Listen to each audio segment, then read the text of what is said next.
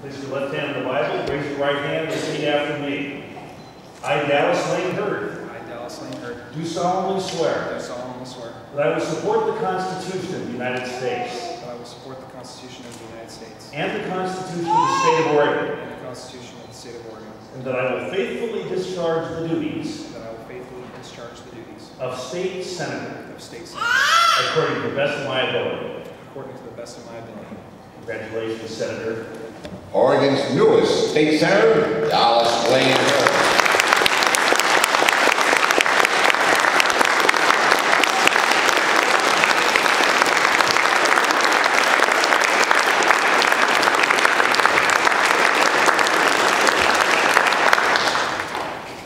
You're going to sign the document first, aren't you?